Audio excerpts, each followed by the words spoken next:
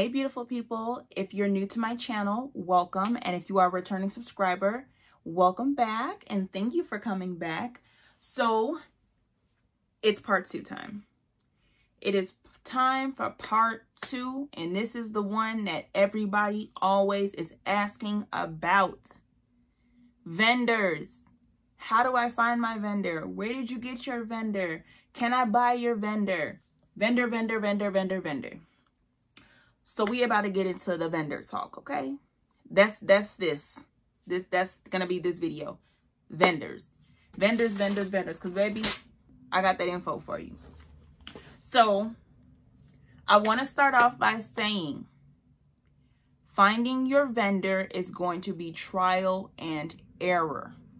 Some people do get lucky and find that vendor, that vendor on the first try.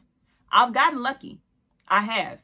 In different things, because you know, my my boutique, I offer um clothing, lashes, and accessories. So, not gonna cap. I done, you know, I done, I done found that one quite a few times for different things. But it's not always like that. Because I've definitely ran into some trash ass vendors. Trash. Which leads into my next thing. Y'all, get samples first. Please get samples first. Do not just go based off the picture that you see. Oh yeah, those are it. Those are the lashes.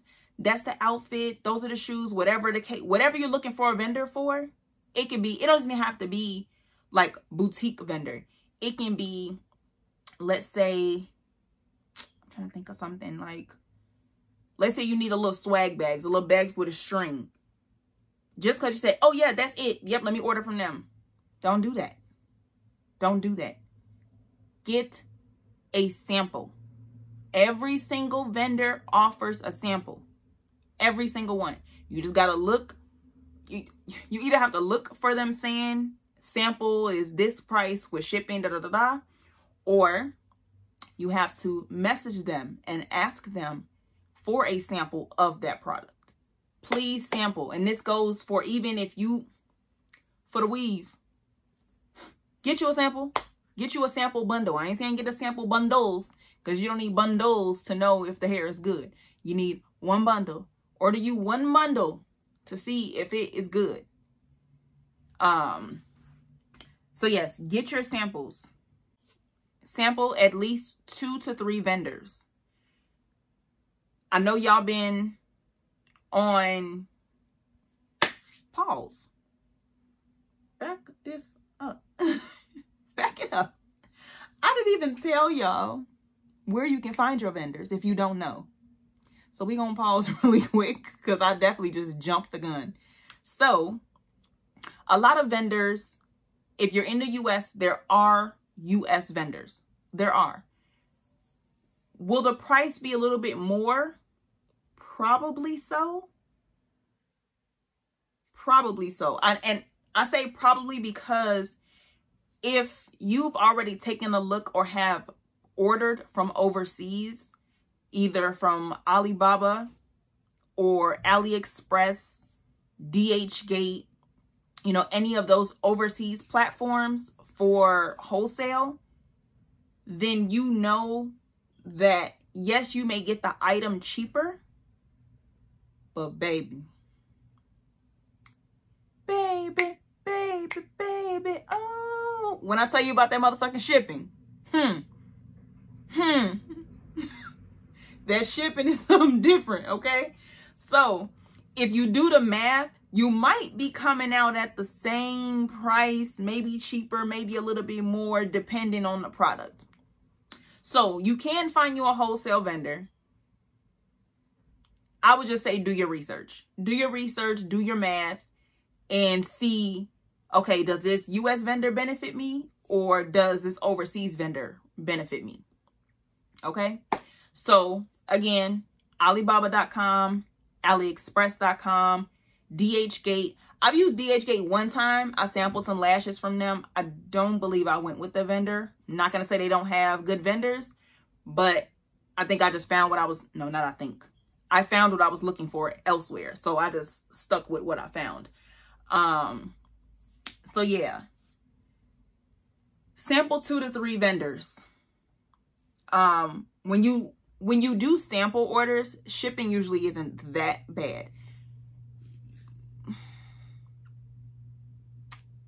I want to say it's maybe around what you pay for regular shipping when you order something like in the US, maybe like between like the 7.99 15.99 ish for a sample.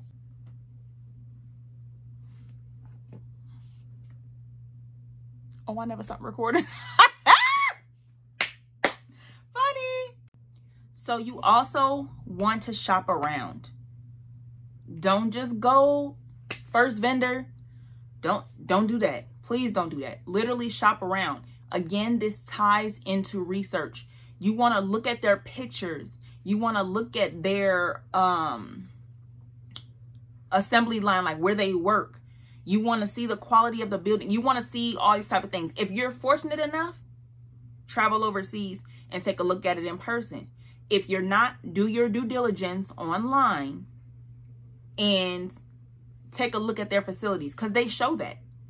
A lot of people just go on the website and they just see the outfit, they just see the lashes, they just see whatever it is that they're looking for, and they oop add to cart. No, read up on the business. Read the reviews, honey. Read the reviews.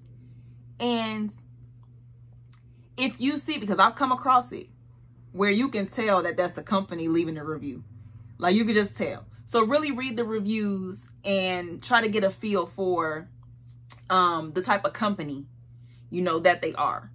Um, message them. Have conversation with them because remember, this is a relationship. In the event that this is your vendor, they have what you want at the price you want, you know, everything is good. You want to build a relationship with them. Like this ain't just no hit it and quit it type, you know, you never know what else they're going to offer down the line. And you want to have that good relationship with them. So reach out to them, ask questions. They know the questions are going to come. This is not their first rodeo. They're going to have the answers to your questions. They're going to assist you in any way possible. Why? Because they want your money. So any questions you have, they may have been, you may have asked the same question five times, 17 million different ways. They're going to answer your question. And remember, be nice. Contact them and reach out to them as a business person. Don't be like, hey, so how much is your, your bundles? Hey, what your lashes made of? Don't talk like that. Like, conduct yourself as a businesswoman, as a businessman, as a business person. That's how you want to conduct yourself. Trust me, even though they want your money, they will turn your ass down. All money ain't good money, and they know that there are more. There's more of where you. There's more that. They don't have to work with every person. So conduct yourself properly. And this is in business in general. Conduct yourself properly. So with certain vendors, you may be able to negotiate. I've negotiated once like some of the vendors don't be going, their prices are their prices, but it doesn't hurt to negotiate, you know? So work on those negotiating skills and don't lowball them. Like if they're saying, let's say they're saying lashes are $4.30. Don't be like, how about a dollar and 30? Like clearly you just like, that ain't even half. Like you don't went way below. Now you just being disrespectful. So be within, you know, a good ballpark. If they're saying, oh yeah, okay, each lash is $4.30. Can we do $4? 30 cents savings per lash is a lot of money. Like, so again, they may not all be open for negotiation, but it doesn't hurt to ask. It doesn't hurt to try. Nothing beats a fail, but try. So next thing, you may be confused on how you communicate with your vendors. I'm in the US and they're in China. How do I call, like, how do we do this? So you're going to communicate with them via WhatsApp. 99.8% of vendors overseas. It don't even have to be just China. It can be in Europe. They can be in Africa, wherever, wherever overseas. They have access to WhatsApp and everyone pretty much has a WhatsApp number because that's the most effective way to communicate. Email ain't gonna cut it. I mean, it can. Email ain't bad, but I feel like the WhatsApp is just it's just better. Um and literally it's just the app. You go in your Google Play Store, your Apple Store, download WhatsApp. I believe they even have well, if you have a MacBook, you can download it on your MacBook. A little app there. Download the app. You utilize your phone number and it just does whatever configurations in the background that allows you to communicate with that person overseas for free. Literally for free. Now, you have to keep in mind the time difference. What I do is wherever my vendors are located, I add their time into my phone.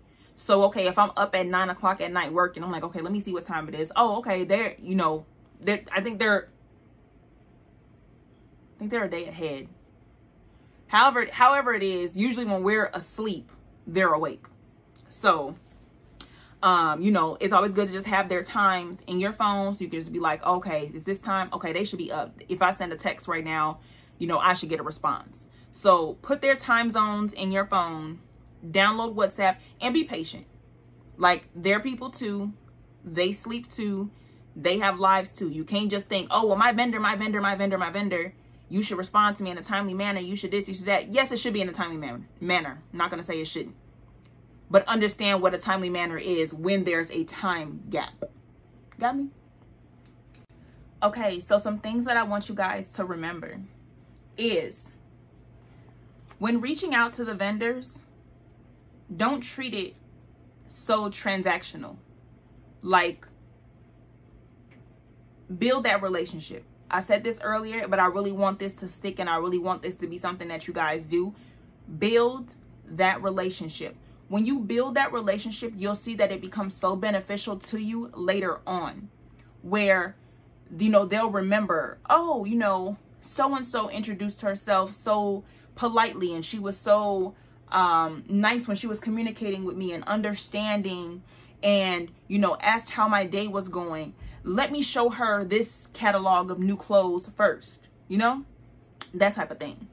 Um, also, when introducing it, like when you initially contact them, introduce yourself and your business properly.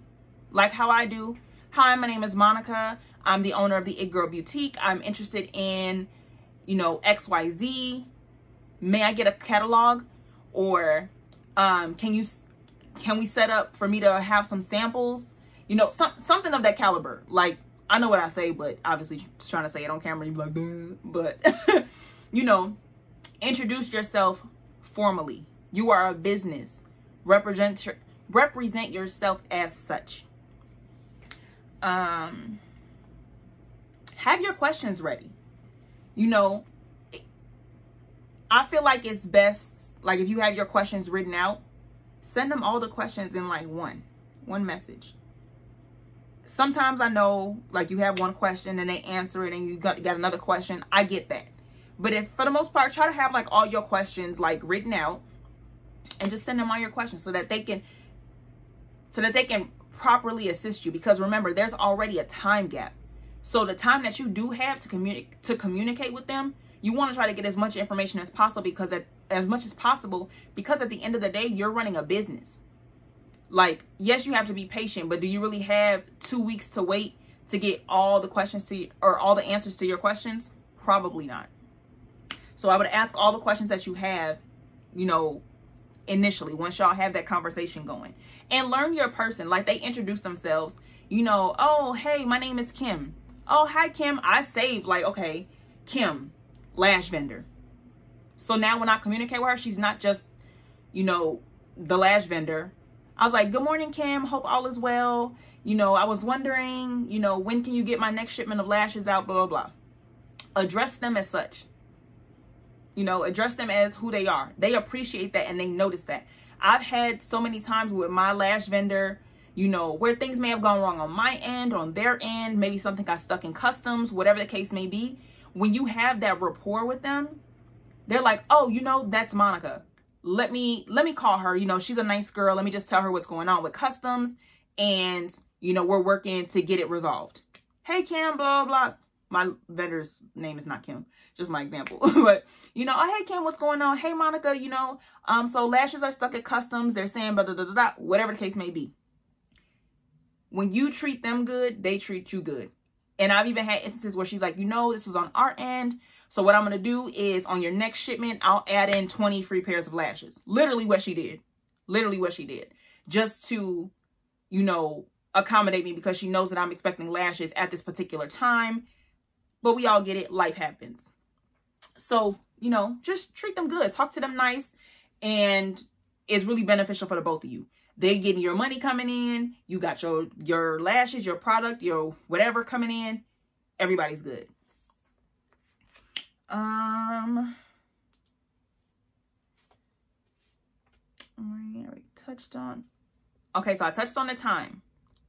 You also have to remember that there's going to be a language barrier. Okay?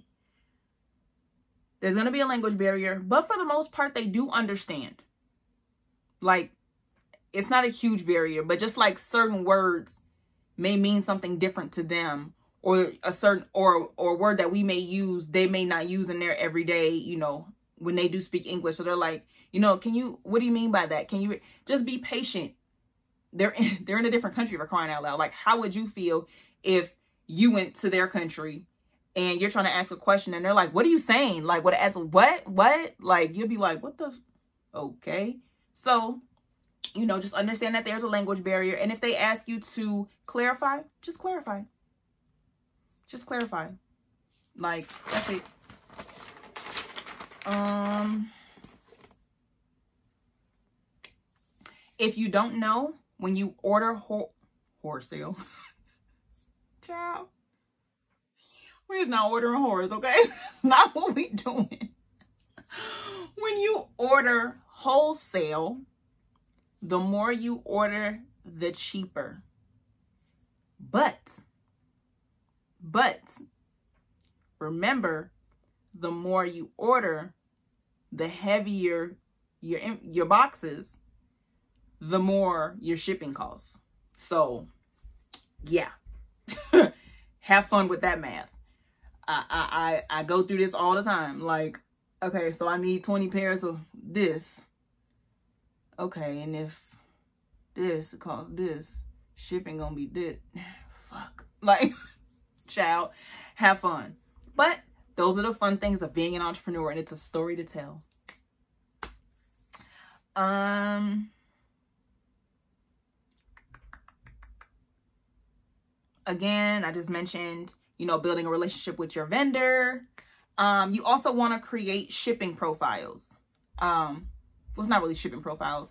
Yes and no. If you're offering shipping, then you need shipping profiles. Really, I'm so sorry. really, you want to create just profiles in general. For USPS, um, FedEx, US, no, I say USPS. What the hell? UPS, USPS, FedEx, DHL, however you ship, however seem, you know, works best. Create profiles, you know, it, it makes it so much easier. I can't tell you how I've had products, packages stuck with FedEx, UPS, whatever.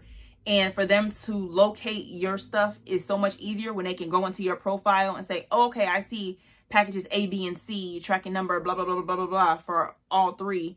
Okay, da, da, da. Like, it works so much better. When it comes time to shipping, you look, I don't even got no dog. That's their dog.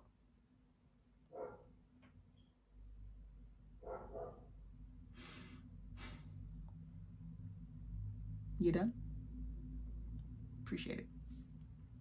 So having those profiles also helps when it's time for you to ship.